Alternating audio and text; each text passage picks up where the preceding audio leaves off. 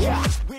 Let's go agenti, sono il vostro power di quartiere, sono qui con un nuovo video su The Division, in questo caso per spiegarvi una cosa importantissima, la strada e il percorso che facciamo noi Feral Blood per poter acquisire più equipaggiamenti di visione possibili nel modo più veloce possibile.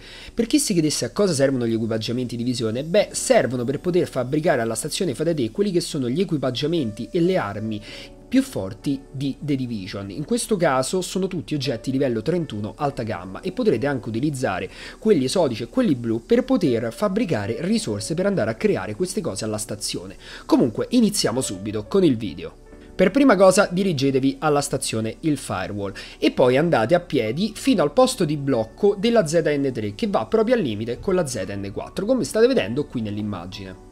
Una volta arrivati, come segnato qui nel video, il primo posto che dovrete andare a vedere per prendere gli equipaggiamenti di visione è questo edificio. In basso a destra potete vedere dove si trovano le due valigette degli equipaggiamenti della divisione. Bene, ora ci dobbiamo spostare, continuiamo dritti per la 42esima e poi giriamo andando sulla Fifth Avenue. Una volta qui continuiamo dritti e non entriamo in quel locale dove c'è scritto equipaggiamento di visione, ma andiamo più avanti dove vediamo quei cassoni verdi e vedremo che alla fine della strada sulla destra ci sarà nascosto una cassa cassa dell'equipaggiamento della divisione. Bene, una volta preso, torniamo indietro, entriamo dentro l'edificio e troveremo ben due casse al piano terra, salite le scale poi che si trovano sulla sinistra e troverete ben due valigette al piano superiore, uno su come entrate sulla destra e uno nella stanza con i server sulla sinistra. Una volta prese le due casse d'equipaggiamento della divisione, dirigiamoci sulla 45esima sempre, giriamo alla prima destra per una zona contaminata, quindi vedete di avere il filtro, proseguite dritto per quel corridoio e tagliamo fino alla 46 46esima. Bene, qui vedremo un'impalcatura con delle scale. Salite, entrate all'interno e troverete in questo edificio dalle mura blu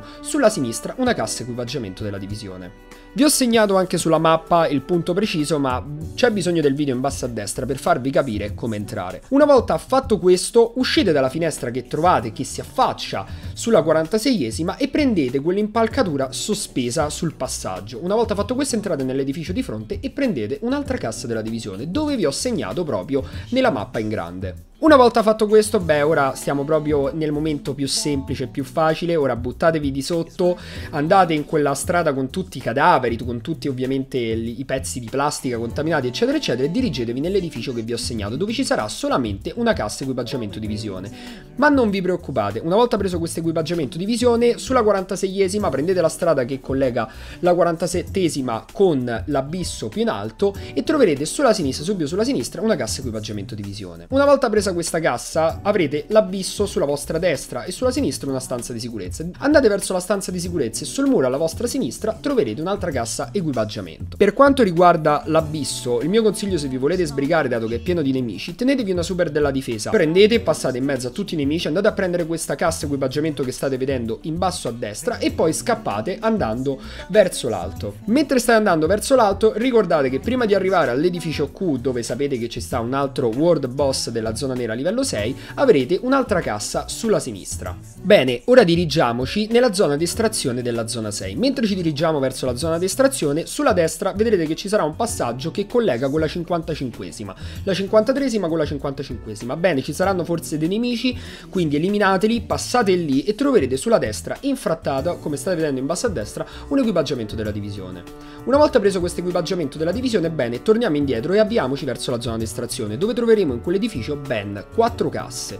Troveremo 3 casse al piano terra, una esterna e due all'interno. Per quanto riguarda quelle esterne io vi consiglio di tirarvi un sovrascudo attraverso la cura overdose perché uh, potrete incappare nei cecchini che sono sulla fine della Sixth Avenue e quindi vi potrebbero uccidere, quindi tiratevi magari un sovrascudo, prendete la cassa e poi subito sgattaiolate dentro a prendere le due casse come state vedendo qui dal video in basso a destra. Una volta fatto questo andate al piano di sopra, utilizzando la fune in questo caso, prendete anche anche la quarta e ultima cassa e dirigiamoci più avanti per il continuo. Bene, ora ci stiamo avviando alla fine, mancano solamente quattro casse, una la troverete come vi calerete giù e andrete sulla 55esima strada, andate ovviamente sulla strada che vedete, ve l'ho segnato il punto, guardate in basso a destra dove si trova perché queste casse sono molto infrattate, quindi cercate di seguire il video in basso a destra, mi raccomando. Praticamente qui si trova la prima cassa, la seconda si trova poco poco più avanti, è sempre imboscata come la prima, non ci si può fare niente, quindi una volta presa anche quella cassa, continuate per la strada, sempre sulla 55esima, fino ad arrivare all'incrocio con quella che dovrebbe essere la settima se non mi sbaglio. Una volta arrivati alla settima avrete un gruppo di nemici gialli tra cui due cecchini, eliminateli, avrete una cassa sulla vostra destra infrattata vicino a una porta e poi girate a sinistra e andate giù verso la settima. Mentre state scendendo sulla settima avenue praticamente troverete un'altra cassa infilata su una sorta di vicoletto nascosto alla vostra sinistra lungo il muro. Bene, ora che avete trovato tutte le casse, avete preso tutti gli equipaggiamenti di visione, uscite al posto di blocco, teletrasportatevi al firewall, una volta arrivati al firewall, il rifugio che si trova sulla destra a cui avevo fatto andare all'inizio, chiudete l'applicazione di The Division, rientrate dentro, rifate il giro, riprendete tutti gli equipaggiamenti di visione in continuazione perché cambierete ovviamente server e sarete così ricchi e potrete craftare tutte le armi che vorrete, potrete cercare i talenti più forti e perfetti per la vostra arma o per il vostro equipaggiamento. Spero che questo video vi abbia aiutato, spolliciatelo, fatelo vedere a tutto il mondo e spero vi possa aiutare. Let's go agenti!